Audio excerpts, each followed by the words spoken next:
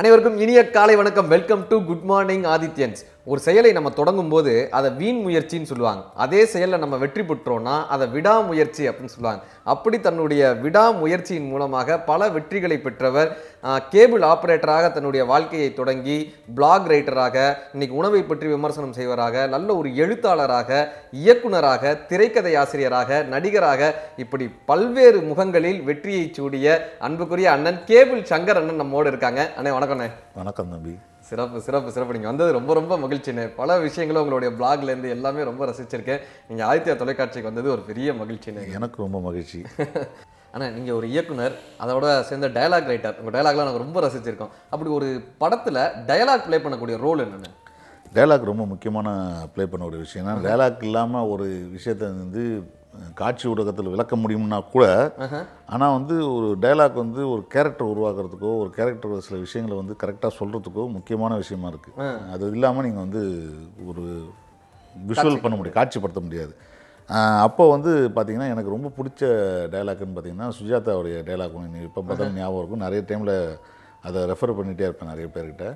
அது வந்து இந்தியனில் வர டைலாக்கு இந்தியனில் வந்து தாத்தா வந்து நிழல்கள் ரவியை கொலை பண்ணும்போது நான் எதுக்கு உன்னை கொல்ல தெரியுமா நான் லஞ்சம் வாங்கினேன் கெடுத்தேன் அப்படின்லாம் சொல்லிட்டு இருக்கும்போது வெளிநாட்டிலலாம் வந்து லஞ்சம் இருக்குன்னா வெளிநாட்டிலாம் லஞ்சம் இல்லை அப்படின்னாரு. வெளிநாட்டில் லஞ்சம் இல்லைடா. வெளிநாட்டில் கடமையை மீறதுக்கு தான் லஞ்சம். இங்கே கடமையை செய்யறதுக்கே லஞ்சம்னு சொல்லிட்டு ஒரு டைலாக் இருக்கும். ஸோ அதே போல் இன்னொரு டைலாக் இருக்கும். அந்த குழந்தைகள்லாம் செத்து போனதுக்கப்புறம் பார்த்து வந்து ஆர்டிஓக்கு வந்து எல்இடி டிவி அப்பனுக்கு வந்து பாசமான்னு கேட்பார் ஆமாம் ஸோ இந்த இந்த மாதிரியான விஷயங்கள் வந்து அது அந்த வசனம் வந்து பெரிய என்ஹான்ஸ்மெண்ட் இருக்கும். அது மாதிரி நிறைய படங்கள் நான் சொல்லிட்டே போகலாம் வசனம் வந்து இந்திய சினிமாவில் வந்து நீங்கள் தவிர்க்க முடியாது. தவிர்க்க முடியாத விஷயம் அது. சிறப்பு. இப்போ நீங்கள் இப்போ தெலுங்கு படம் அப்படின்னா நம்ம என்ன சொன்னோன்னா ஒரு கலர் கலராக காஸ்டியூம் போடுவாங்க. பிரம்மாண்டமாக செட் இருக்கும். அப்படின்ற மாதிரி ஒரு பிம்பம் இருக்குது இப்போ மலையாள படம்னா சாமானிய மனிதர்களை பற்றி எடுப்பாங்க. இயல்பு வாழ்க்கை.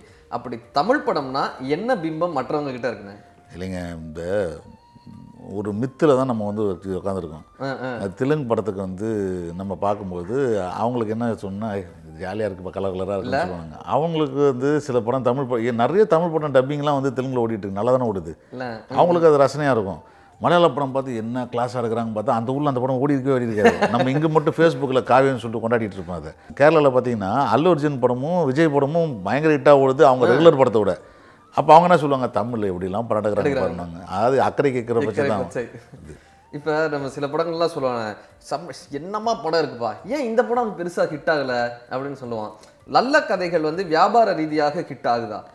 இல்லை நல்ல கதைகளாக இருந்தால் வியாபார இதே ஹிட் ஆகாது.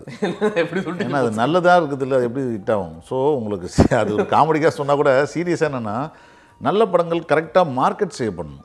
ஸோ மார்க்கெட் செய்யப்படாத படங்கள் வந்து நீங்கள் நல்லது கெட்டதுன்றதை முடிவு பண்ணுறதுன்றது வந்து எண்ட் யூசர் தான். அதாவது பா வாசகர்களோ இல்லை பார்வையாளர்களோ தான்.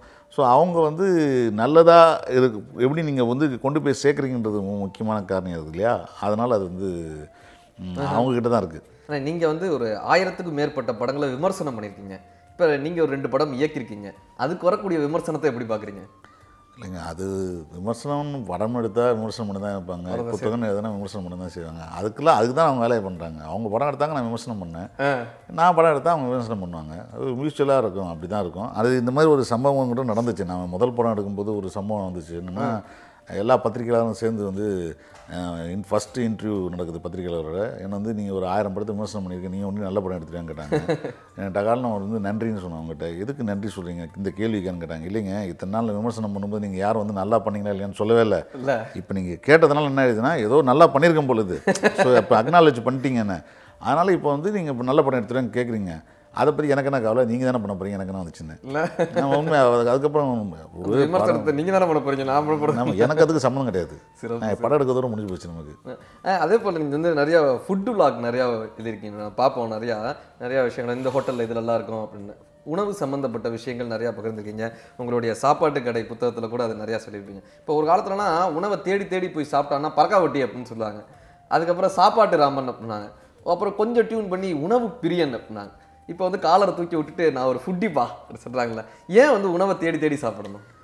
இல்லை முதல்ல உணவு உணவு வந்து எப்போவுமே எல்லா காலகட்டத்திலையுமே வந்து மனிதனுடைய என்ன சொல்கிறது ஒரு பர்சனல் டச் இருக்குது உணவு வந்து அது அதுக்கு பெரிய ஒரு எமோஷனல் வேல்யூ இருக்குது பசிக்கு சாப்பிட்றது ருசிக்கு சாப்பிட்றதுன்றதெல்லாம் வந்து நம்ம ஆயிரம் டயலாக்லாம் தமிழில் வச்சுருக்கோம். ஆனால் இப்போ நான் இந்த புத்தகம் எழுதுறதுக்கான காரணம் என்னன்னா எனக்கு வகை- வகை வகையான உணவுகள் சாப்பிட்றதுக்கு எனக்கு பிடிக்குன்றது விஷயம். நான் தஞ்சாவூர்காரன் அடிப்படையாக நான் தின்னு கட்டவன் சொல்லுவாங்க ஸோ அதனால் அந்த அந்த அந்த பெருமையா சொல்றீங்களா? அது அவங்களுக்கு கிண்டலாக சொல்லுவாங்க. எனக்கு பெருமையாக தான் சொல்லுவாங்க. பெருமையா? நான் புக்கெல்லாம் போட்டு விற்றுருக்கேன்ல எனக்கு என்ன இப்ப எனக்கு என்ன லாஸு அதனால நான் வந்து லாபகரமான விஷயம் இல்ல அப்ப தின்னு நட்டவன். தின்னு சம்பாதிச்சு வந்தேன் நான். எனக்கு உண்மையாகவே எனக்கு ஒரு நல்ல சந்தோஷமான விஷயம்னா எத்தனையோ கடைகளை பற்றி எவ்வளோ கடைகளை பற்றி புதிய கடைகளை அறிமுகப்படுத்தியிருக்கிறேன். உலகத்தில் நிறைய இடத்துக்கு போயிருக்கும்போது என்னை கூப்பிட்டு வச்சு சோறு போடுறதுக்கு நிறைய பேர் இருக்காங்க. ஸோ வந்து அது ஒரு பெரிய பாக்கியம் தான் அது இந்த புத்தகம் எழுதுறதுக்கான காரணம் நான் சொல்கிறேன் என்னென்னா நான் சாப்பாடு கடைகளை பற்றி எழுதுறதுக்கான ஐடியாவே இல்லை. எனக்கு வி- நான் நண்பர்கள்கிட்ட சொல்லுவேன் இங்கே இங்கே அங்கே சாப்பிடுங்கன்னு. அப்போ வந்து கொத்து பரோட்டான்னு ஒரு ஆர்டிக்கு காலம் எழுதிட்டு இருந்தேன். அப்போ நான் ஒரு நிறைய சின்ன சின்னதாக ஒரு ஒரு ஒரு பேரால் எழுதிட்டு இருந்தேன். அப்போ எழுதும்போது ஒரு ஒரு நாளைக்கு ஒரு ஃபோன் வருது. ஒரு பெரியவர் எனக்கு ஃபோன் பண்ணுறாரு. ஃபோன் பண்ணி விக்கி விக்கி அழுகுறாரு. ஓ. என்னடா அது விக்கி விக்கி அழுகுறாரு சம்மந்தம் இல்லாமல் சார் எதுக்கு சார் அழுகுறீங்கன்னா இல்லை ஒரு அஞ்சு நிமிஷம் சொல்லிட்டு அழுதெல்லாம் முடிச்சுட்டு சொல்கிறார் நீங்கள் இந்த கேபிள் சங்கர் தான் ஆமாங்கண்ணா இந்த மாதிரி உங்கள் உங்கள் புத்தகத்தை வந்து ரெஃபரன்ஸில் தான் வந்து இந்த கடைக்கு வந்திருக்கேன். அதை சாப்பிட்டுட்டு எங்கள் அம்மா கையில் சாப்பிட்ட மாதிரி இருந்துச்சு. நீங்கள் எழுதியிருந்தீங்க அதில். இது இந்த- இந்த கடையில் வந்து வீட்டில் சாப்பிட்ற மாதிரி அம்மா வீட்டில் செஞ்சு போட்ட மாதிரி இருக்குன்னு சொல்லி எழுதியிருந்தீங்க. எனக்கு அறுபத்தி ரெண்டு வயசு ஆகுது. எங்கள் அம்மா வந்து ஒரு ஒரு ரெண்டு மாதம் மட்டும் தான் செத்து போனாங்க.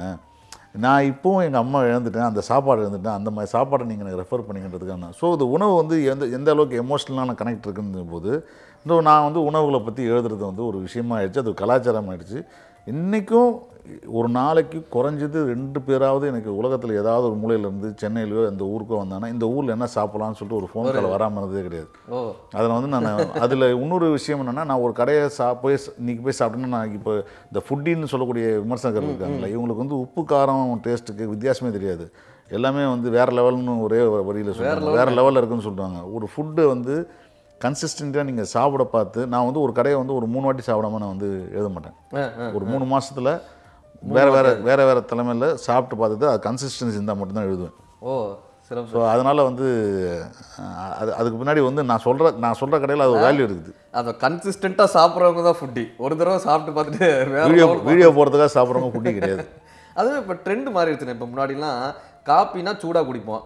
ஐஸ்கிரீம்னா ஜில்லுன்னு சாப்பிடுவோம். இப்போ காப்பியை வந்து ஜில்லுன்னு கொடுக்குறாங்க. ஐஸ்கிரீமை அடுப்பில் போட்டு கொடுக்குறாங்க ப்ரௌனின்ற பேரில். இது எப்படி பார்க்குறீங்க மாற்றத்தை இது எத்தனை நாள் தான் சூடாக சாப்பிட்றது? காப்பி ஜில்லுன்னு சாப்பிட்டா எப்படி இருக்குன்னு யோசிக்கிறது தான். உணவே எப்படின்னாங்க உணவு வந்து பாரம்பரிய உணவுன்னு ஒரு விஷயம் சொல்கிறீங்க இல்லையா? இந்த பாரம்பரியத்துலேருந்து நீங்கள் எவ்வளோ சமையலை நீங்கள் புதுசு புதுசு சமையல்ன்றது என்ன? ஏதாவது மிக்ஸ்டு காம்பினேஷனை வேறு வேறு காம்பினேஷனை போட்டு வேறு வேறு ட்ரை பண்ணுறது தான். ஸோ அது மாதிரி ஏன் நம்ம சூடாக சாப்பிடக்கூடாது? ஏன் ஐஸ்கிரீமை வந்து பொரிச்சு போண்டா சாப்பிடக்கூடாதுன்னு ஒருத்தன் யோசிச்சோன்னா ஐஸ்கிரீம் போண்டா ஒருத்தன் கண்டுபிடிக்கிறான். ஸோ இது வந்து இன்னோவேட்டிவான விஷயம் க்ரியேட்டிவான விஷயம் தான் அது. பாராட்டுங்கன்றீங்க. அதே இப்போ சில டிஷ்ஷை வந்து வியாபார ரீதியாக வெற்றி பெற வைக்கிறதுக்குன்னு சில யுக்தி பண்ணுவாங்க. இப்போ ஒரு ஹோட்டலில் வந்து ஹாட் மில்லட் சூப்புன்னு போட்டிருந்தாங்க. நல்லா இருந்துச்சு பேரை கேட்கறதுக்கு பார்த்தா நம்ம ஊருக்கு கேப்ப கொஞ்சம் கொண்டு வந்து வச்சாங்க.